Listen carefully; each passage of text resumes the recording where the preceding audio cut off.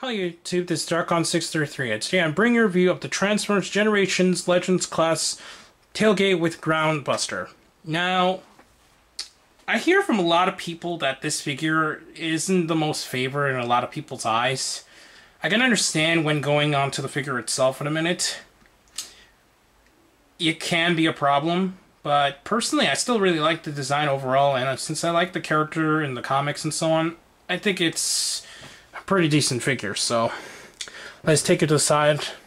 Take a look at the box here. Now, just like uh, when I had the problems with, I think it was the Cosmos the Swerve box, I had to put the other box, another box in the back just to keep it up. So, and as you can see, it's actually Skrapnels box, which is the next figure I'll be reviewing.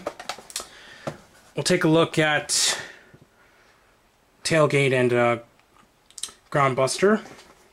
It's got the nice, cool, uh, like old G1 style tech spec box. I like that design. It says in the box here, these two Autobots both have a habit of digging themselves into holes. Groundbuster will dig into almost anything that's underground, holding up there to plot his next move. Autobot Tailgate never hesitates to dig himself a hole by making stories of his exploits. He wouldn't even stop short claiming being one of the original primes if the occasion called for it, so it's kind of amusing what they actually gave for the bio there.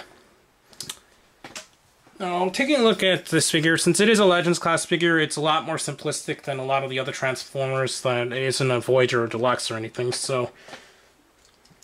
But, one thing that is kind of disappointing is... Both Groundbuster and Reflector suffer for one major issue, and that is their Minicon Micromaster partner have like almost no transformation scheme.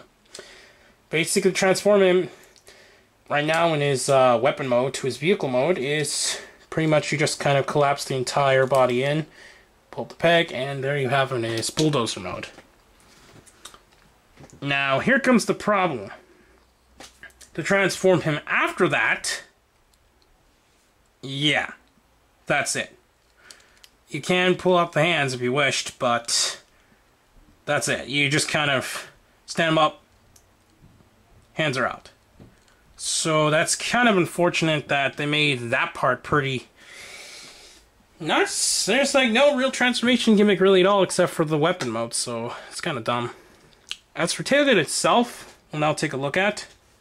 Articulation, his head is like it can turn, but this back panel has a hard time to even get the go in to even reach the head, so sometimes it's hard to turn it. His arms are on ball joints, which allow full movement around, and his hands are on ball joints, so allows some movement there too, which also which just unfortunately gets hindered due to his giant part of his arm here. No waist articulation, his legs are on ball joints, but get stuck there. His knees are on ball joints, but once again, gets restricted by the side panels. His feet can pivot. So, in terms of articulation, I can kind of see why people had a problem with, since almost everything of this toy's design hinders everything, so it barely has any articulation to move around. Now, to transform him, what you do is turn the hand on both sides, pull up this entire body here, so it looks like that pull down this back panel here, close up the hands, so they look like that, or that this little piece becomes like his exhaust pipes in the back. Turn the leg panels here. So now they face this way. And then here, you should see these little slots on the side of his feet. You slot into the side of the vehicle mode right there. So now you make sure that you turn them around and you slot them on the side there like that. Do the same for the other side.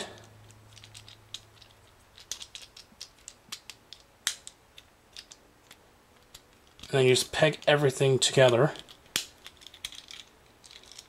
Like that. And then there's these two small pegs which peg inside the panels in there. Then, once you get everything pegged together, you'll have tailgate in his vehicle mode. Now his vehicle mode is pretty decent actually, especially for its size. It's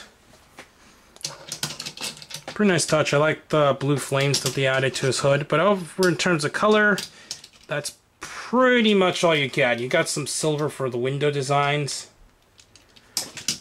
and on the sides, but other than other that for paint applications, you barely see any new other paint applications in this mode. So what you can also do is transform this ground buster into its uh, weapon mode again. And you can peg it into the hole that's on his, uh, what's it called, the hood. And then, there you go, he just got this giant claw weapon. Now the wheels on him roll pretty well actually, so that's pretty cool. What's also kind of interesting is that the wheel designs actually are different from the front and the back. As you can see here, they're just regular silver there, while here they actually have holes sides, so give, they decided to give them a little bit of a different wheel design.